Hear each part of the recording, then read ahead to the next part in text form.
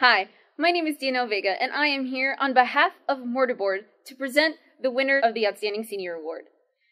This award is given to a senior who has inspired others through effective leadership, given to the community through generous service, and has upheld intellectual standards by example.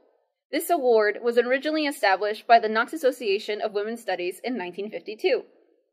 And this award is presented to Ravie Boungou. Congratulations.